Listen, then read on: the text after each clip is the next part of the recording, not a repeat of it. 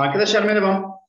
Şimdi bugün bireyi tanıma teknikleri, test dışı teknikler ve test dışı tekniklerimizin içerisindeki ikinci başlığımız kendini anlatmaya dayalı tekniklerimizden bahsetmeye çalışacağız. Haydi bakalım. Otobiyografi, arzu listesi, anket, zaman cetveli, problem tarama listesi, kime göre ben neyim, anı defteri gibi tekniklerimiz olacaktır. Sonra sosyometrik tekniklerimiz, etkileşim tekniklerimiz ve diğer tekniklerimizi dile getireceğiz biz bu videomuzun içerisine diyebiliriz hocam. Şimdi ilk etapta biz otobiyografilerle işimize başlayalım. Bireylerin geçmiş yaşantılarını, şu anki durumunu, gelecekten beklentilerini dile getirdiği teknik bizim otobiyografilerimiz olacaktır. Bütün öğretmenlerimiz uygular ama uzmanlar yorumlar bizim otobiyografilerimizi. Ve otobiyografilerdeki anahtar kodlamamız bizim geçmiş yaşantılarımız olacaktır diyebiliriz hocam. Peki bir çocuğun otobiyografi doldurabilmesi için bir geçmişinin olması lazım. Bu yüzden ilk öğretim ikinci kademeden itibaren uygulanır bizim otobiyografilerimiz. Bir otobiyografi yorumlanırken yazının uzun kısalığı anlatma isteğini verir bize. Yazının düzeni, otobiyografiye verdiği önemi gösterir bize. Yazının genel havası ruh halini gösterecek.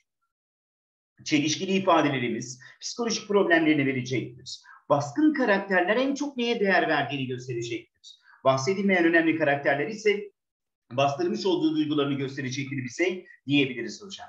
Peki otobiyografilerde yazı güzelliğine dikkat edilmez. Hocam yalnız vatandaşın yazısı güzeldir.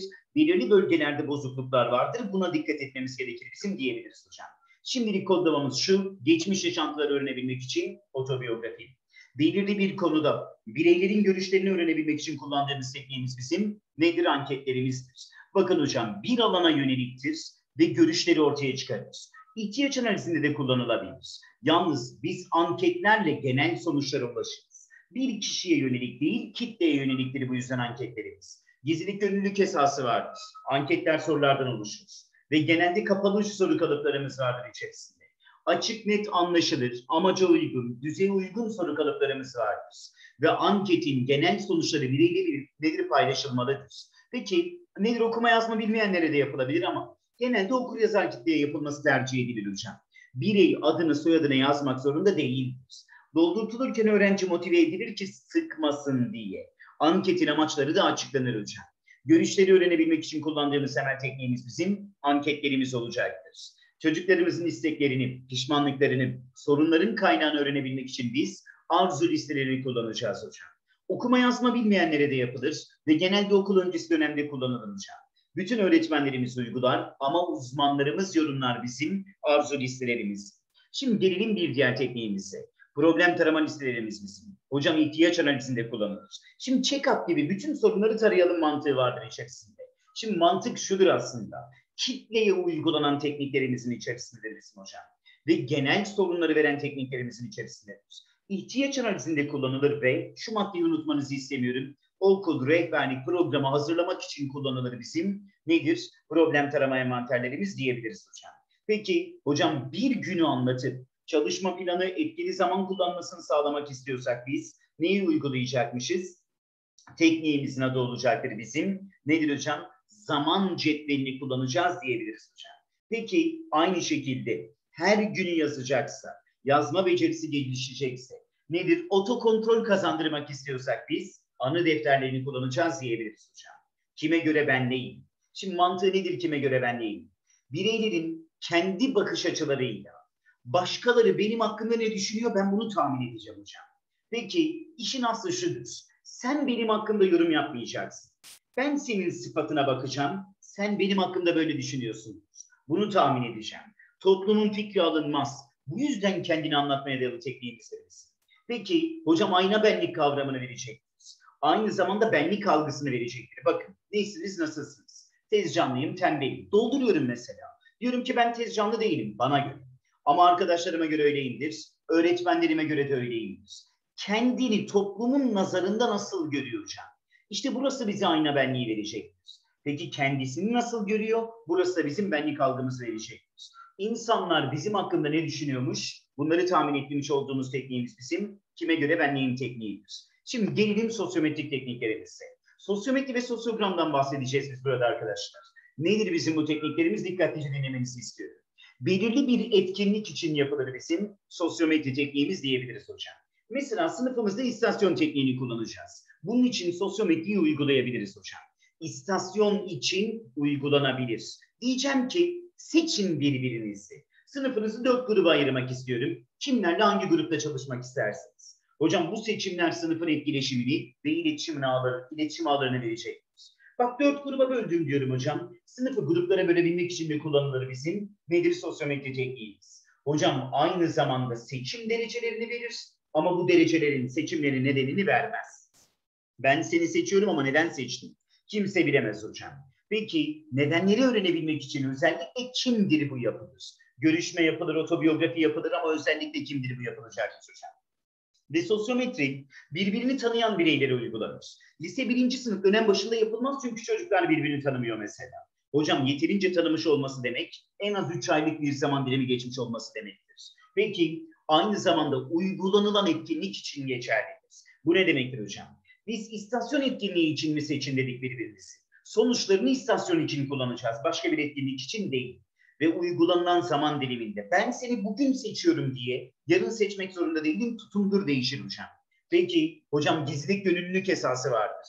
Şöyle bir yorumlama yapalım hocam. Gizlilik esasından dolayı özel sonuçlar açıklanmaz. Ayşe kızım seni Ahmet seçmemiş diyemezsin hocam. Nifak sokma meselesidir. Ama genel sonuçları açıklanabilir. Lider, terk edilen, reddedilen gibi sonuçlarımız açıklanabilir biz. Hocam sonuçları hiçbir zaman genellenmez. Bu ne demektir? Bir etkinlikte, bir sosyometride çocuk lider çıktı. Bütün etkinliklerde lider çıkacak diye bir kuralımız bizim yoktur. Ve sosyalleşmeyi geliştirir.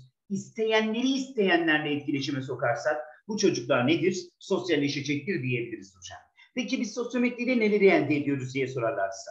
Bakın şimdi hocam. Biz sosyometride lider öğrencilerimizi bulabiliriz. Kliklerimizi bulabiliriz. Karşılıklı çekenlerimizi bulabiliriz. Reddedilen öğrencilerimizi bulabiliriz. Terk edilenleri bulabiliriz. Zincirsel ilişkilerimizi bulabiliriz mesela. Sınıfta en çok seçilen öğrencimiz bizim liderimizi oluşturur. En az üç kişiden oluşan, sadece birbirini seçenler ise kliklerimizi oluşturur. İki kişiden oluşan grubumuz bizim nedir? Karşılıklı çekenlerimizdir bizim. Seçtikleri tarafından seçilmeyen. Ben seçiyorum ama beni seçen yok. Bu ne hocam? Reddedilendir. Peki seçmeyen, seçilmeyen, izole edilmiş, yalnız yani terk edilen bireylerimizdir. Ardışık seçimler varsa burada bizim nedir? Zincirsel ilişkimizi gösterecektir. Bakın şimdi burada bir sosyometri tablosundan bahsediyoruz. Şöyle yorumlamasını yapalım hocam. Şimdi bu tabloda bakın bir taraf seçilen bireylermiş, bir taraf seçen bireylermiş. Şimdi buranın bir de toplam tercih derecesi olacak. Şimdi hocam bu tablolarda şuna dikkat etmenizi istiyorum.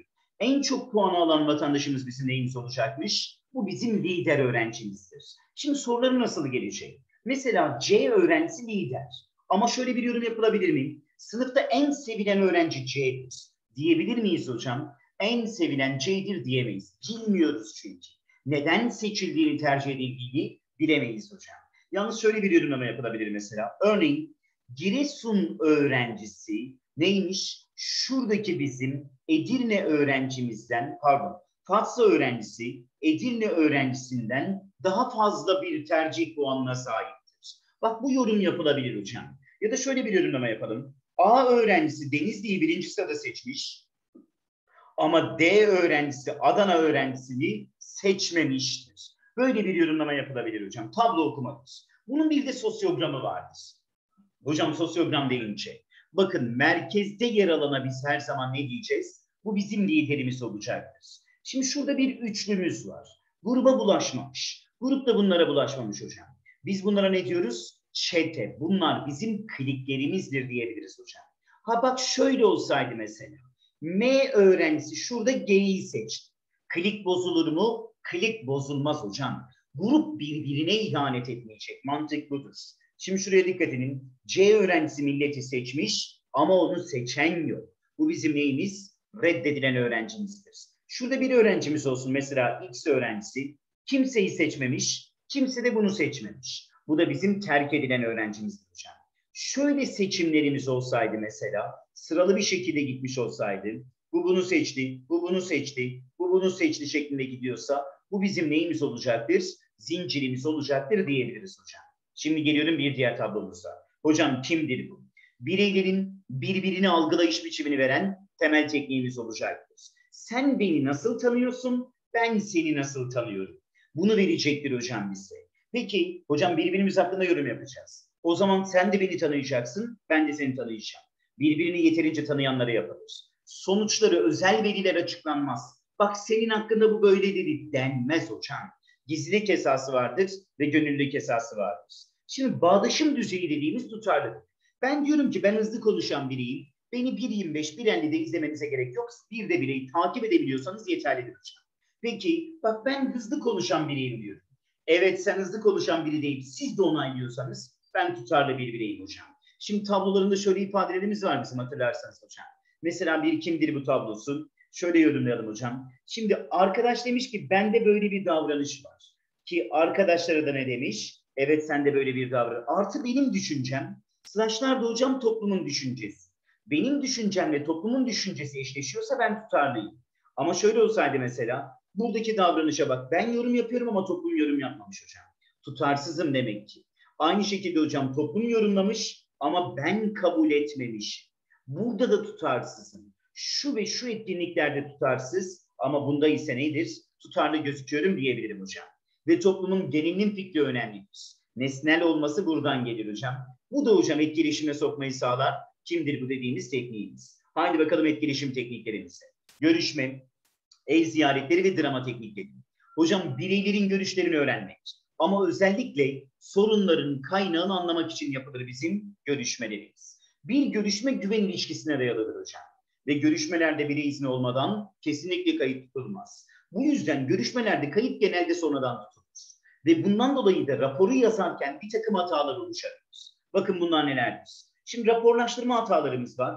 Bir de görüştüğüm kişi bana yalan söyleyebilir. Bireyden kaynaklı hatalarımız var. Hocam eğer ben görüşme raporu, raporu, raporunu abartılı bir şekilde kaydediyorsam. Mesela çocuk görüşmede bir kere üflüyor. Çok sıkıldım. Görüşme boyunca püfleyip püfleyip durdun Emrut diyorum hocam. Bu bizim derleme hatamızdır. Eğer ben çocuk mesela görme engeli var bunu yazmadım. Kişisel özelliklerini yazmıyorsam tanıma hatasıdır. Aramızda geçen konuşmaları eksik kaydediyorsam hocam bu ihmal hatasıdır. Sıralamayı bozuyorsak bu da neymiş? Yerini değiştirme hatasıdır. Peki çıkarlar için bana aldatıcı bilgi veriyor hocam. Saf çıkarcı. Bu ne? Yanıltma. Bir iş görüşmesinde işi alabilmek için yalan söylüyor. Ya da nedir hocam ne olur beni sınava kaldırma. Ki sözlüğe kaldırmayın. Gece hiç uyuyamadım annem rahatsızdı. Kendimi kötü hissediyorum. Bak yalan. Düşük notu almamak için yalan söylüyor. Bunlar yanıltmadır hocam. Peki toplumun beklentilerine uygun davranıyorsa, buna göre cevaplar veriyorsa, iyi çocuk eğilimidir ki bu bizim sosyal kabul hatamızdır hocam. Anketler mesela hocam. Sokak hayvanları hakkında ne düşünüyorsunuz? Koruyoruz, besliyoruz. Ee, ben de inandım. Kadına şiddet hakkında ne düşün? Döveni de dövüyoruz. Tövbe. Peki hocam bakın şu bireyden kaynaklı hatalar sadece görüşmede ortaya çıkmaz. Otobiyografi, anket, işin aslı bir öğrenciden ya da bir bireyden fikir aldığımız her teknikle bunlar ortaya çıkabilir. Çünkü bunlar yalan söyleme işidir. Peki öğrencimizin doğal yaşam alanını yerinde göreceksek, habitatı, evcil ev hayvanı çünkü, hocam ev ziyaretleri. Aile bağları da görülür, ailelerde bilin, bilinçlendirilir. Ziyaret esnasında kayıt tutulmaz. Kayıt ziyaretten sonra. Hocam sıcak samimi bir ortam ve haberli yapılır. Hediye alınmaz ama ikram alınır. Rehber öğretmen ev ziyaretine katılmak zorunda değiliz. Okul öncesi özel eğitim ve ilk öğretimde nedir? İlkokulda daha doğrusu zorunlu tekniklerimizden biridir bizim ev ziyaretlerimiz. Peki canlandırma tekniklerimiz olacakmış bizim. Hocam mantık ne? Eğer ben toplumsal bir olayı canlandırıyorsam, iş görüşmesi gibi sosyodrama. Eğer kişisel bir sorun, yaşadığı sorunu canlandırıyorsa psikodrama. Madde bulamayan bir gencin madde krizi geçirmesi. Sınav kaygısını canlandırmak mesela nedir? Psikodramadır ve uzman kullanır sadece. Peki yazılı bir metin canlandırılır. Bireyin empati kurması sağlanılacaksa bu rol oynamadır hocam. Çocukların yaşadığı sorunların kaynağını öğrenip gidermek için kullanılan ve uzmanların uyguladığı tekniğimiz bizim oyun oynamadır hocam.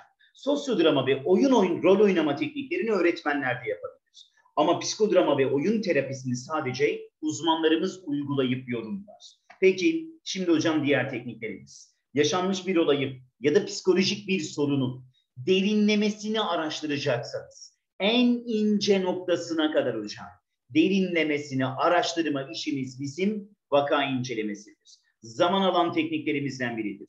Sadece uzmanlar kullanır. Peki ayrıntılı bir bilgi ortaya çıkarılmasını sağlar bizim vaka incelememiz. Bir doktora gidiyorsunuz, bin bir çeşit tahlil yapıyor mesela hocam. Bu vaka incelememizdir. Ama teşhis koyamaz. Heyeti toplar, heyet sana teşhis koyar. Bu da vaka konferansıdır hocam. Olayı uzmanların değerlendirmesidir. Peki yaşanan bu olayın canlandırılması. Cinayet zanlıların olay mahalline götürüyorlar nasıl yaptın anlat. Bu vaka temsilidir hocam. Peki bireylerin yaşadığı sorunlara paralel kitapların okutulmasını isteyeceksek bu bizim biblioterapimiz olacaktır diyebiliriz hocam. Peki aynı şekilde hocam klinik modelin bulun, bulduğu ve bireyin bütün özelliklerinin kaydedildiği yalnız okul dışı ve adli bilgiler hariç tüm özelliklerin kaydedildiği bilgilerimiz bizim toplu dosyalarımızı oluşturacaktır. Hocam birinci sınıf ve 12. sınıf arası tutulmuş. Çocuk 12. sınıftan mezun olduktan 5 yıl sonra bu dosyalar imha edilir. Ve bireyin takibini sağlar. Takip diyorsa rehberliğin sürekli olduğunu gösterir. Ve bireyi tanımanın en kısa yoludur hocam. Nedir hocam? Bizim bu toplu dosyalarımızın sınıf rehber öğretmeni ve okul rehber öğretmeni beraber işler. Kimin himayesinde? Rehber öğretmen himayesindedir hocam. Peki çocuk okuldan başka bir okula nakli olur. Naklini idareciler sağlar. Ve dört düzey gizli bilgi vardır içerisinde. Hocam bu gizli bilgilerden genel olanlar idareyle paylaşılır. Öyle her şey paylaşılmaz. Bak dört düzey diyoruz ya hocam. Aslında toplu dosya diye bilinen bir, iki, üçüncü düzey bilgilerimizdir. Hocam dördüncü düzey bilgiler toplu dosya değildir. Bunlar çocuğun tamamen kişisel bilgileridir. Yani psikolojik danışma verileri, görüşme raporlarıdır. Rehber öğretmen bu dosyaları, daha doğrusu bunları uzmanların himayesindedir tamamen. Başka kimse ulaşamaz bunlara. Çocuğun sorunu kalkınca bunlar hemen imha edilir. Yani bizim toplu dosya diye bilmemiz gereken ilk üç düzey bilgilerdir. Ve bunlara sınıf, rehber, öğretmenleri de ulaşabilir. Herkesin bildikleri yaş, boy, kilo, görünür engeller, aksak mesela saklayacak bir şey yok. Bu birinci düzeydir hocam. Veli ya da öğrenci isteğiyle gizlenenler, ailenin iletişim bilgileri, statü düzeyi, çocuğun akademik özgeçmişi, CV nerelerde okumuş, bunlar ikinci düzeydir hocam. Üçüncü düzeyler zaten gizlidir. Çocuğun başarı durumu. Bakın akademik özgeçmiş iki. Ama çocuğun akademik başarı durumu nedir? Üçüncü düzey. ÖSYM şifreleri gelsin aklınıza. Gelecek planları, sağlık bilgisi bunlar nedir içerisinde? Üçüncü düzeydir hocam. Tamamen psikolojik bilgilerimizdir bizim dördüncü düzey bilgiler. Bakın şimdi şuna düşmek sordu vatandaş. Aşağıdakilerden hangisi toplu dosyalarda yer almaz? Psikiyatrik muayene sonuçları yer almaz. Niye? Okul dışıdır hocam. Psikiyatrik muayene sonuçları ruh ve sinir hastalıklar hastanesinde yapılıyor. Okul dışı bilgidir hocam. Bu dosyaların içerisine yer almaz dedik ve böylelikle bireyi tanıma tekniklerimizi sonlandırdık.